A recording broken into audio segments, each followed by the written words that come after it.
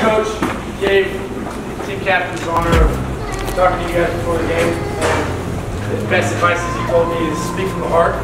But the honest truth is I love and would do anything for each and every one of them.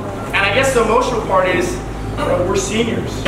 And I remember being a freshman or being a sophomore, being a junior, and looking up and be like, damn, that'd be sick to be a senior. You should be running out full head of steam with everything you got. Because I'm playing like I'm not going to be able to play for the rest of my life. Because chances are this, this is all I got. High school football. Play like it's your last, man. Because I honestly, I don't want to regret anything. Um, yeah, man, I love you guys. And I think we're the closest family I feel like I've ever had.